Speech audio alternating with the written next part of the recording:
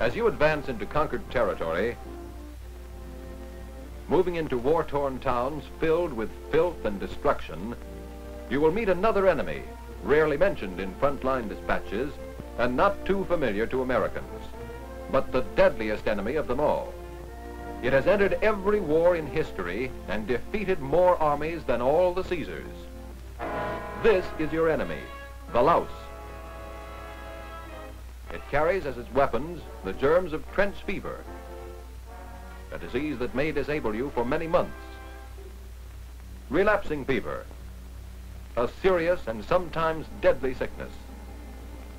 And typhus fever, a highly fatal disease.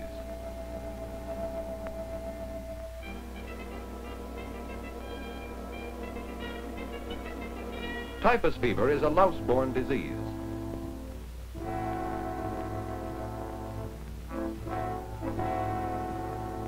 Lice carried it from one man to another.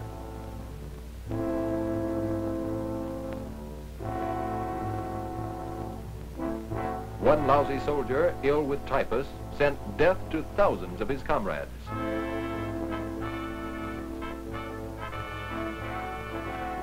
The louse is an enemy more to be feared than bombs and bullets.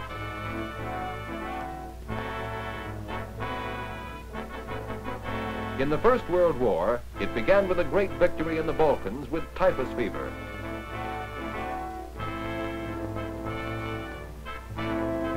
And then carried through in France with trench fever.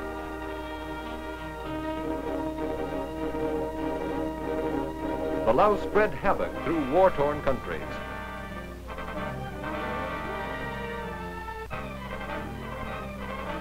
and continued for years with relapsing fever introduced after the First World War by returning soldiers. It has already begun activity in this war and lies in wait for these men with its threat of disease and death. There are three kinds of lice that infest man. The head louse lives in the fine hair of the head. Body lice live in the clothing and are called seam squirrels because they travel along the seams where there is darkness, shelter, and warmth. The crab louse is not a disease carrier. It's usually found in the hair of the pubic region, but may live in any coarse hair, under the armpits, and even in the eyebrows. The crab louse is only a nuisance. It's the head louse and body louse that spread disease.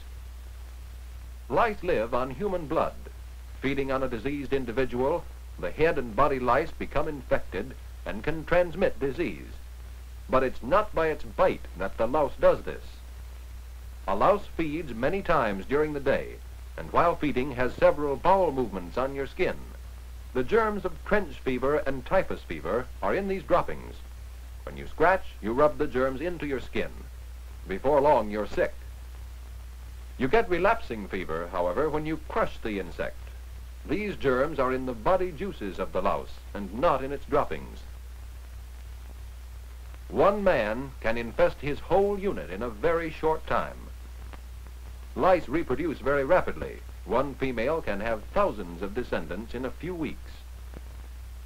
She glues her eggs, called nits, to your hair or clothing as she lays them. The young lice are born in about nine days. With human blood to feed on, they are full grown in another nine days. Within 24 hours, the new females start laying their eggs.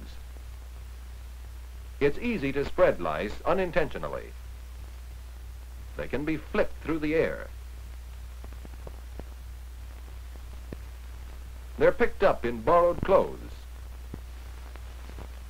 They are spread by contact. Lice can't jump or fly. They crawl. They scurry from one shirt to another, one person to another, always seeking new homes, new warmth, new blood to suck. Head lice may be transmitted in many ways. A common headrest may be comfortable, but only for the time being.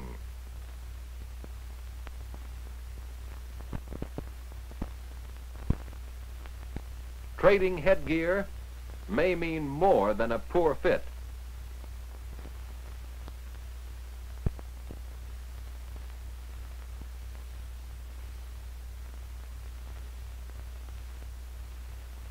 A borrowed comb or brush may do much more than improve your appearance. Remember, it only takes one louse to infest a whole unit in a short time.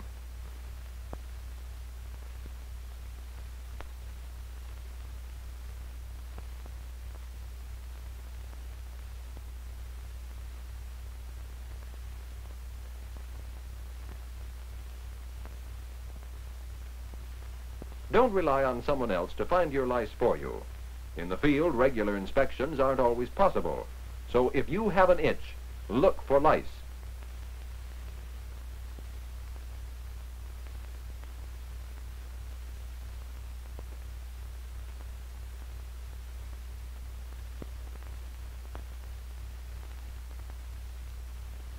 Lice like these may mean disease or death. This man is filling the air with louse droppings. When these are breathed into the lungs, deadly typhus fever may follow.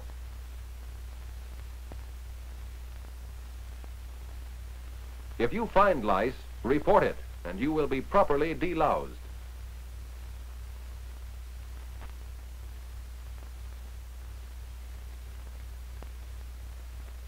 When men are examined, their body is searched for lice and nits.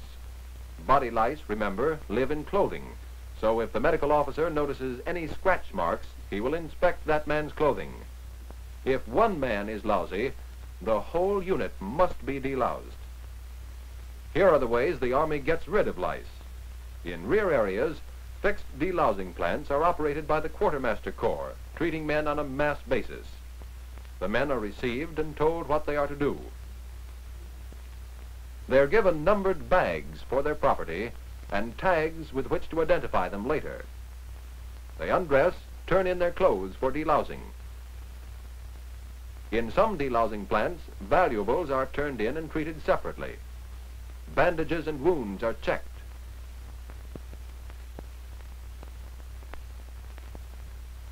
The men shower. They dry themselves, turn in their towels. All hairy parts are sprayed with a chemical which kills any remaining lice.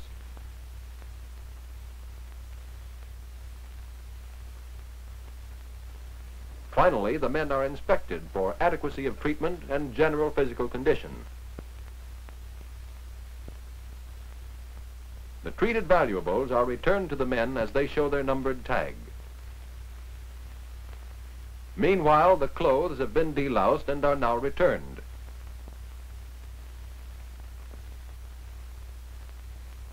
The men dress freed of live lice from their clothing and from their bodies. Whenever or wherever a unit is deloused, every man in the unit must be treated. Both his body and all of his clothing and equipment must be freed of lice and nits. In the field, the Quartermaster Corps furnishes mobile units equipped to delouse on a large scale. This is a mobile fumigation and bath platoon. Each man is issued a bag for his clothing and equipment. The bag is turned in for delousing after he undresses completely and puts on a numbered tag matching the bag number. He showers at the mobile shower unit, which delivers warm water. In cold weather, this would be done under tentage. Meanwhile, the clothing is being fumigated by a poisonous gas such as methyl bromide in the portable fumigating chambers. This gas will kill all lice and eggs that may be in the clothing.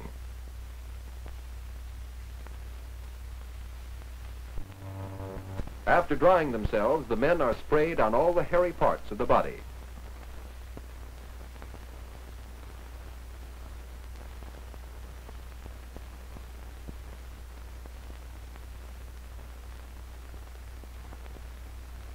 They're medically inspected. Then the clothes are returned to the men. There may be some lice that aren't dead yet but they can't bite and will be dead within a few hours. The men dress freed of the danger of louse-borne disease. The quartermaster sterilization and bath units disinfest with steam instead of chemicals. Articles made of rubber and leather must be treated separately since the heat will damage the material. Notice that the showers are part of this mobile trailer. The clothes go into these baskets which run on tracks into the steam chamber. When the steam is introduced, it penetrates the clothing to kill all lice and eggs. To kill them in a short time, the door is hermetically closed. This holds the steam under high pressure.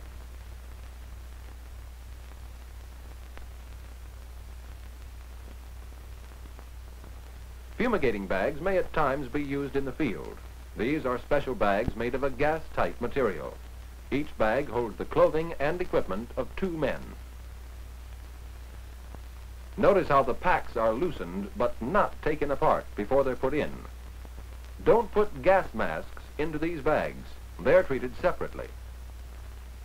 Otherwise, everything goes in. And that means everything, even that watch.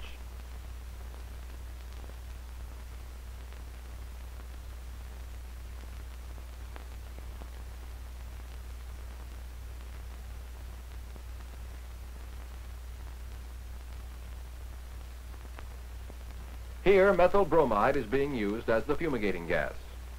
Make sure the glass tube inside isn't broken, and then put it in the special pocket in the side of the bag. Leave it in the carton. Fold the top of the bag tightly and tie the tapes to prevent the gas from escaping.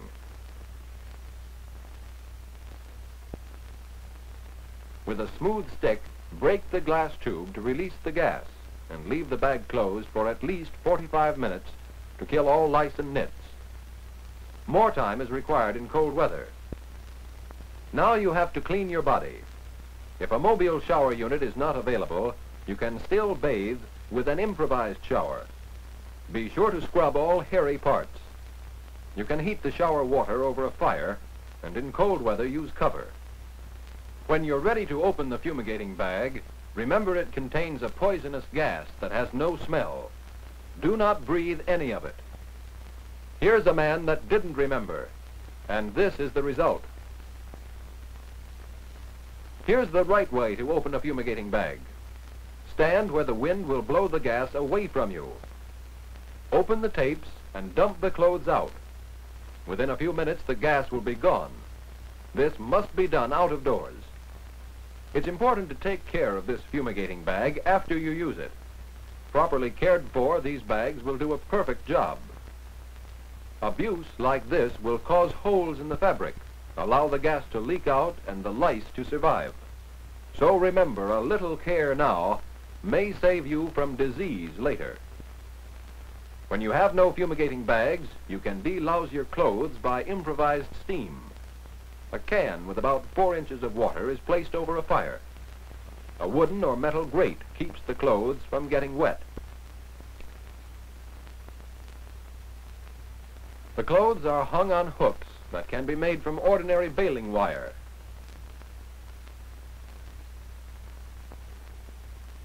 When the can is loosely filled, it is covered as tightly as possible and allowed to steam. Leather, rubber, or anything containing wax, glue, or varnish are ruined by steam. Items like these must be treated separately with powder or an insecticide solution. After the clothes steam for 45 minutes, they are rid of live lice and nits and can be returned to the men. This setup is known as a Serbian barrel.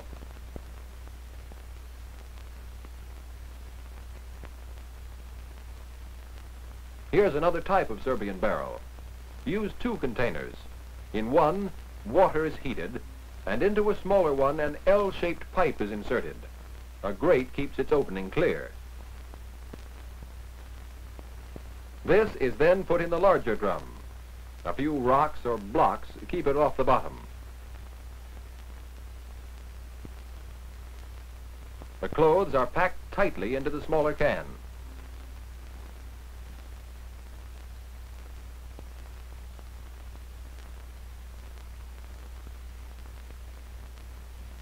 A tight-fitting cover is placed on top, with the pipe coming through a fitted hole.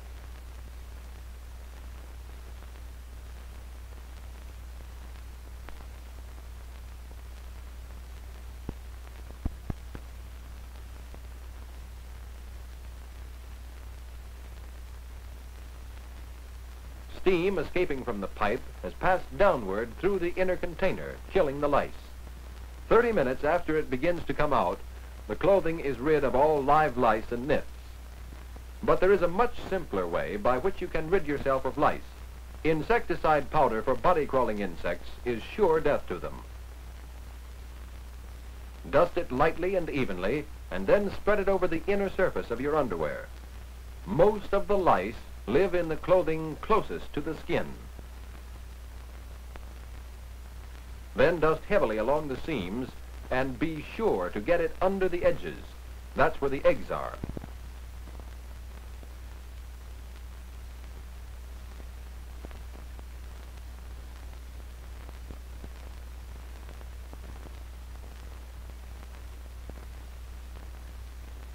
Do the same to the shirt.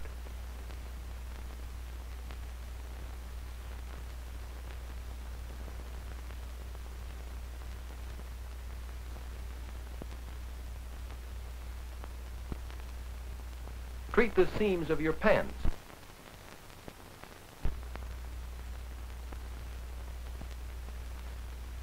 After you've washed your body, apply the powder to the hairy parts where you think there may be lice. Rub it in well. It takes about half a can of powder to treat your clothes and body properly. The most important thing in preventing the threat of louse-borne diseases is to avoid becoming lousy in the first place. Every soldier must be able himself to keep his person and clothing louse-free. Know how to use louse powder to keep lice away. They live in the clothing nearest the skin, so dust your underwear evenly. Get it heavily into the seams. Treat your shirt, too. Lice don't like soap and water. Bathe frequently. To avoid head lice, wherever you are, Keep your hair cut short. Lice are often picked up in the least suspected places. But if you take care of yourself, no louse will be able to survive on your body. Sometimes in combat it may not be possible to avoid infestation. But it will be your fault, and it may be a deadly one if you stay lousy. Look for lice. Report if you find any. Get rid of them, and then keep clean. Free of lice, you avoid disease or worse, and stay in condition to hunt down the two-legged species who are identified by the swastika and the rising sun.